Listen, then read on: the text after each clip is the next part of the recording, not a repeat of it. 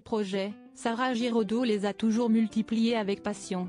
Dans les colonnes de Marie-Claire, la comédienne à l'affiche d'Adieu Monsieur Hoffman ce dimanche 14 janvier sur la 2, a évoqué la pièce Le syndrome de l'oiseau qu'elle a mis en scène et qui raconte la séquestration d'une jeune fille. Comme ses illustres parents, Bernard Giraudot et Annie Dupéret, Sarah Giraudot s'épanouit pleinement dans l'univers du 7e art.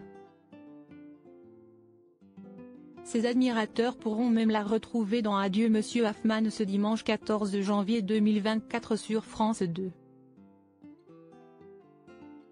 En 1996, l'actrice a tout juste 11 ans lorsqu'elle s'illustre dans Les Caprices d'un fleuve, film emblématique de son père. Très vite, la principale intéressée se passionne alors pour le théâtre en parallèle à d'autres projets cinématographiques. Elle joue certes, mais elle met aussi en scène. En 2007, Sarah Giraudot a d'ailleurs remporté le Molière de la révélation théâtrale. Dans le magazine Marie-Claire du 4 janvier 2024, l'heureuse maman de trois enfants a naturellement rebondi sur son joli parcours et son actualité. L'occasion pour elle d'aborder la pièce de théâtre Le syndrome de l'oiseau qui raconte la séquestration d'une jeune fille. Une œuvre à la thématique lourde quoi pourtant souhaiter découvrir sa fille Mona l'un des fruits de sa belle histoire avec le comédien Simon Hubert. Mon aîné, 12 ans, l'a vu à la création, il y a deux ans, a indiqué Sarah Giraudot. Je ne le voulais pas mais elle a insisté.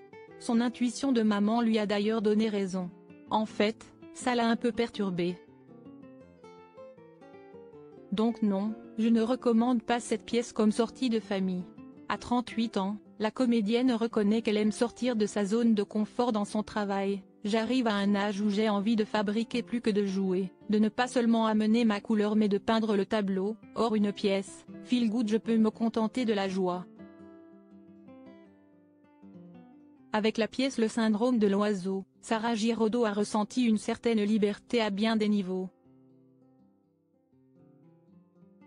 Celle-ci, au contraire m'a tellement parlé qu'il fallait que ce soit moi qui la prenne en main car sans que je puisse expliquer pourquoi, j'ai un rapport fort à la mort, l'abandon, à l'enfance blessée, à analyser la star. Avec sa sensibilité, la principale intéressée assure que ce texte allie l'horreur à la poésie.